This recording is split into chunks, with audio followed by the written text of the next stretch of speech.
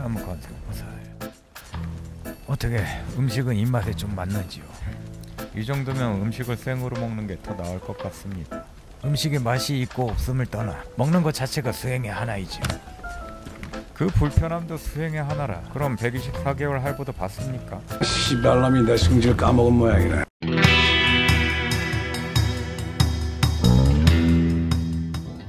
안녕하십니까. 맛집 팩트 리뷰어 후슐랭 가이드입니다. 오늘 소개해볼 것은 3연속 미슐랭 가이드 미식인들이 뽑은 서울 맛집 100위 안에 선정되었다는 아주 아주 유명한 사찰 음식 전문점을 찾아가 보고 있는데요 뭐 다들 아시다시피 사찰 음식이라는 게 스님들이 드시는 음식이라 고기도 없을 뿐더러 감칠맛을 올려주는 채소들도 오신채라고 아예 금기시하고 있거든요 아니 그럼 맛대가리도 없는 걸 왜 소개를 해? 라고 생각하시는 분들도 계시겠지만 제 개인적으로 이런 음식 재료들이 빠져있는데도 불구하고 사찰 음식점 중 세계 최초로 미슐랭 가이드 one star를 3년 연속 받은 집이라니 그 맛이 상당히 궁금하더라고요. 이곳의 위치는 조계사 바로 건너편 5층짜리 건물 템플스테이 홍보관에 위치해 있고요. 주차는 건물에 하셔도 되지만 기계식 주차라 저희는 나인트리 호텔 주차장을 이용했습니다. 우선 식당은 템플스테이 홍보관 건물 5층에 있는데 엘리베이터는 안쪽 깊숙이 있어 홍보관을 거쳐야 하고요. 층별 안내도를 보면 5층에 발우공양이란 곳이 보이는데 이곳이 바로 오늘 찾아갈 사찰 전문 음식점입니다. TMI로 발우공양이란 뜻은 스님들이 절에서 식사하는 의식이란 뜻이고요. 5층에 올라오게 되면 예약 확인을 하고 자리를 안내해 주시는데 네이버를 통해 예약은 쉽게 하실 수 있습니다. 들어가기 전 한쪽에 미쉐린 가이드 와 서울 맛집 100위 안에 들었다는 인증 상패를 볼 수 있어 확실히 맛집이란 느낌을 받을 수 있었고요. 나중에 알게 된 사실이지만 여긴 조계사에서 직접 운영하는 곳이라고 합니다. 그리고 실내는 전부 룸으로 되어 있어 소모임이나 가족 식사하기에 적당한 장소였고요. 메뉴판은 세리출 형식으로 보기 좋게 되어 있었고 첫 장을 넘기면 영업시간이 나오는데요 점심 영업은 1부와 2부 저녁은 6시부터 9시 반까지 총 3부로 운영이 되고 있었습니다 그리고 음식의 종류는 쉽게 사진으로 볼 수 있어. 저같이 선택장애가 있으신 분들도 쉽게 메뉴 선택을 할 수 있을 것 같았고요 코스는 1인 3만원부터 최고 15만원까지 다양하게 있었지만 9만 5천원 코스와 15만원 코스는 최소 4인 이상 3, 4일 전에 예약을 해야 한다고 합니다. 뭐 15만원짜리 코스도 궁금하긴 했지만 고기도 없는데 굳이. 선식은 좀 작네 가지수가 음. 이건 작은 편이에요. 그럼 원식으로 하자 저희는 이날 45,000원짜리 원식 코스를 주문해봤고요. 첫 번째로 나온 건 토마토와 죽, 물김치 같은 게 나왔는데 왼쪽부터 오미자청에 절인 방울토마토, 감자가 들어간 감자죽, 그리고 오이와 무짠지가 구성으로 나왔고요. 확실히 미슐랭을 받은 식당이라 깔끔함이 돋보였는데 과연 맛은 어떨지? 상큼해요 약간 달달한 것도 좀 들어가 있다 뭐 어느 정도 예상은 하고 있었지만 토마토 절이면 말 그대로 달달하면서도 상큼한 자연 친화적인 맛이었고요. 이 물김치 같은 것도 거의 소금물에 오이와 무만 들어간 맛이라 일반적인 맛과는 엄청난 차이가 있더라고요. 그리고 감자죽은 들기향이 살짝 나면서 간간히 씹히는 감자의 식감이 좋았고요. 죽을 먹고 있는 사이 두 번째 코스가 숨 돌릴 틈 없이 빠르게 나왔습니다. 짜잔, 내가 돌아왔다. 우선 도토리묵은 상추와 양배추, 오이가 들어가 우리가 너무 잘 아는 비주얼의 도토리묵이었고요. 우리가 흔히 접할 수 있는 음식을 코스로 먹으려니 뭔가 색다른 재미가 느껴졌습니다. 특별식이 아닌데 설명도 해주시고 그러니까. 도토리묵 이거 등산 갔다가 내려와가지고 이거 뭐라고? 아까 감자 볶음. 오, 근데 되게 살짝 데쳐가지고 식감이 완전 다르네. 어때요, 누나는? 집에서 먹던 거를 뭔가 내가 얘기했잖아. 언니는 특별식 먹고 싶을 텐데. 그냥 미안해. 외국인들이 음, 여기 많잖아 인사동에. 외국인들한테 어필하기 좋은 데야. 음. 그래도 여기는 미슐랭입니다. 아니 근데 내가 봤을 때는 미슐랭 그, 그 평가하는 사람들이 외국인이라는 거지. 음, 이 기준에 따라서 다른 거니까. 여기 리뷰 보니까 사람들이 칭찬하는 이유 하나 있더라고 음, 개별로 아까 코스 그거 뭐야 이거 말고 작은 거. 음. 그거 시키자 그랬어 간단하게 여기서 먹고 맛있는 피자 한 판 먹고 솔직히 어렸을 때 절에 가서 몇 번 밥을 먹어봤지만 거의 비빔밥 형태로 나와 이 정도의 심심함은 느끼진 못했거든요. 아무리 맛을 이해하려고 해도 도무지 간이 안 되어 있어 거의 반 생식을 먹는 듯한 느낌이었습니다. 내가 가만히 보니 내는 머릿속에는 마구니가 가득 찼구나. 세 번째 코스는 뭔가 진한 구성의 버섯강정과 냉면, 오이나물과 두부조림, 그리고 호박전과 만두가 나왔고요. 직원분이 먹는 순서를 냉면부터 먹으라고 알려주셨는데 그 이유는 잘 모르겠습니다. 냉면부터 먹어야 돼?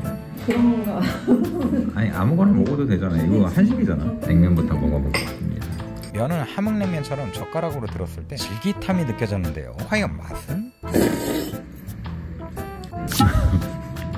되게 자신 있게 얘기하시길래 이게 굉장히 맛있는 줄. 시그니처인 줄 알았어. 그러니까, 그러니까 되게 달달한데 이게 과일즙으로 달달한 과일즙. 거네. 일반적인 냉면의 맛은 보통 매콤 달달함과 신맛이 어우러진 냉면이잖아요. 그런데 여기 냉면은 매콤함은 거의 없고 갈아 만든 배가 들어간 느낌의 달달한 냉면이었습니다. 이번엔 모든 버섯 차례. 모든 버섯은 표고버섯과 파프리카가 들어가 있었고 제 개인적으로는 이날 먹었던 음식 중에 가장 베스트였는데요. 어때요? 맛탕 같은데? 맛있어요. 고기 식감이 나. 고기 식감. 맛은 있고 이거 버섯 볶음 맛있어. 쫄깃쫄깃하다. 애호박전은 밀가루보다 애호박이 많이 들어가 있어 계란을 쓰지 못하는 단점을 보완한 것 같았고요. 맛은 그냥 계란 쓴 애호박전 맛이 나서 신기한 맛이었습니다. 그리고 가장 궁금했던 만두. 고기를 쓰지 않고서 어떻게 맛을 낼지 상당히 궁금했는데요. 와 그런데 이 만두는 신기한 게 채소만 들어가 있는데도 고기 만두 맛이 나더라고요. 버섯하고 야채, 당면 등을 엄청 다져서 넣었는데 담백하면서도 일반적인 만두 맛이 났고요. 이쯤 되면 그냥 만두를 사 먹지 뭔 유별이냐라고 생각하실 분들도 계시겠지만 이렇게 만드는 음식에는 다 이유가 있는 거죠. 여기는 비건인 사람들이 오는. 베지테리언이 온대. 나도 요새 간 되게 심심하게 먹는 편이긴 한데 음. 간이 하나도 안 됐어 음식이 지금. 오이 먹어봤어? 깜짝 놀라. 오이는 간이 깜짝 놀라지 마. 그래. 그냥 생오이 같아. 어. 그냥 손, 손으로 이렇게 한번 두 분은 깻잎을 튀겨서 올려놓은 고명에 달달한 간장 양념으로 졸여 만드신 것 같은데 이건 입에 상당히 잘 맞았습니다. 소환사의 협곡에 오신 것을 환영합니다.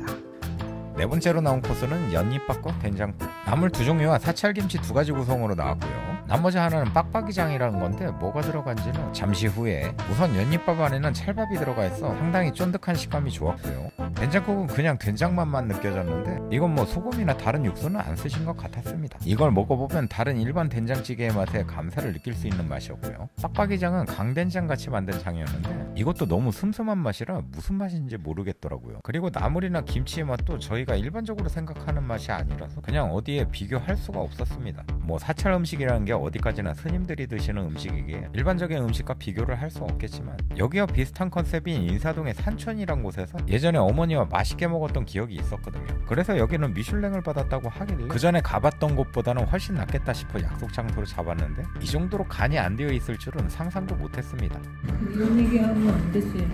나 너무 마음 어때 누나? 비건이 아니어가지고 또 다시 오고 싶지는 않은. 어때요? 울지 말고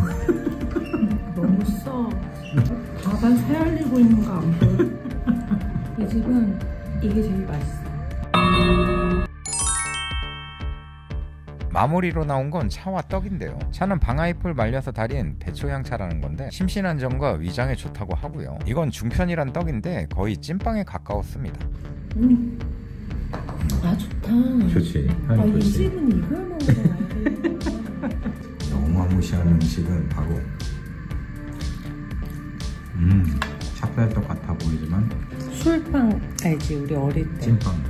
그 식감이랑 똑같고 맛도 음, 먹으면 왠지 취할 것 같은 음. 느낌. 차가 너무 맛있다. 차가 너무 좋다. 비건이 아니고 육식파인 사람들이 와가지고 저는 이걸 먹고서 본인가 안 좋은 거를 조금 사그러지게끔 만들어준 차네. 그런데 식사가 끝나자마자 급하게 나가야 된다고 직원분이 안내를 해주셨는데요. 뭐 1시간 20분 주는 건데 지금 시간이. 기분 조금 약간 그렇네요. 1시간 20분이면 좀 짧아. 여자들은 기본이 2시간이야. 맞아요. 잠깐 얘기하다 보면 2시간은 훌떡 가. 음. 맞아. 2시간 뭐야? 3시간 딱. 일단은 뭐 어, 금방 뭐 비워달라고 그랬으니까 가야죠. 어찌됐든 계산을 저희 그 차를 그 나인 아, 나인 네, 돼 있어요? 네. 네. 여기가 식사 시간이 얼마나 되는 거죠? 저희 1시간, 저기, 어, 원래는 저기 1시 반에 오시면 2시 50분까지예요.